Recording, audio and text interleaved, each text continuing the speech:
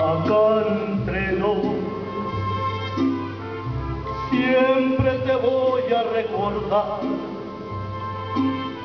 Y hoy que a mi lado ya no estás, no queda más que confesar que ya no puedo soportar, que estoy odiando sin odiar, porque respiro por la vida.